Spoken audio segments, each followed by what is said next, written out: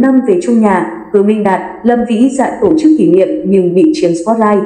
Hứa Minh Đạt, Lâm Vĩ Dạ đã bên nhau hơn thập kỷ, nên duyên vợ chồng vào năm 2010, trải qua hơn một thập kỷ năm đồng hành cùng nhau. Lâm Vĩ Dạ, Hứa Minh Đạt khiến người hâm mộ không khỏi trầm trồ khi sở hữu tổ ấm viên mãn nhất nhì làng giải trí viện. Hứa Minh Đạt đăng tải khoảnh khắc hạnh phúc cùng gia đình đón ngày đặc biệt. Nam diễn viên viết, bộ ảnh kỷ niệm 14 năm về chung một nhà. Bên nhau đã hơn thập kỷ nhưng tình yêu cả hai dành cho nhau vẫn luôn ngọt ngào như thuở mới yêu.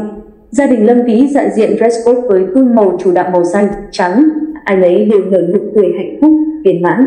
Đáng chú ý, quý tử lớn nhà Lâm Vĩ dạn nhanh chóng chiếm spotlight với diện mạo điển trai. Cậu bé năm nào nay đã cao lớn phụng phao, đẹp trai chủ mạ rõ nét. Mới học cấp 2, nhưng bánh mì đã gây ấn tượng khi sở hữu chiều cao gần bằng hứa Minh Đạt. Các khoảnh khắc thường ngày trong cuộc sống của con trai Lâm Vĩ dạ luôn được săn đón và thu về lượt tương tác cùng. Không ít người còn tranh thủ đặt cạch quý tử nhà Lâm Vĩ dạ làm con rể. Lâm Vĩ dạ tâm sự, thời điểm khó khăn nhất trong công việc và gia đình đó chính là lúc dạ sinh con. Lúc đó kinh tế gia đình đầy nặng trên vai ông xã, nhưng anh đặt luôn cố gắng để gia đình lúc nào cũng đầy đủ để mình không nặng lòng. Cho nên nhờ ông xã mà dạ vượt qua được những ngày tháng khó khăn nhất một cách dễ dàng. Hiện tại, cả hai có cuộc hôn nhân viên mãn bên hai quý tử, sự nghiệp diễn xuất ngày càng thăng hoa.